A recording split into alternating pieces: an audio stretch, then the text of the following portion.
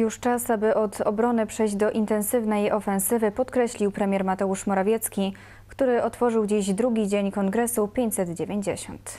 Kongres 590 to najlepsze miejsce, by rozmawiać o tym, jak polska gospodarka może przezwyciężyć kryzys i jak może rozwijać się dalej. To tu wykuwały się idee rozwoju naszego kraju.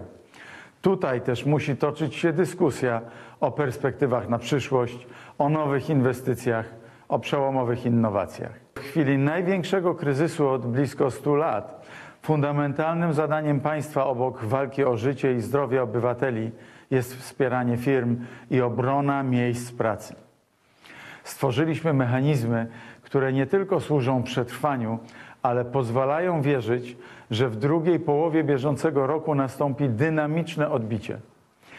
Uratowaliśmy ponad 5 milionów miejsc pracy i dziś mamy najniższe bezrobocie w całej Unii Europejskiej.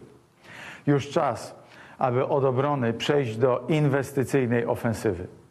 Wezwaniem do działania jest właśnie hasło tegorocznego kongresu Polska 2030.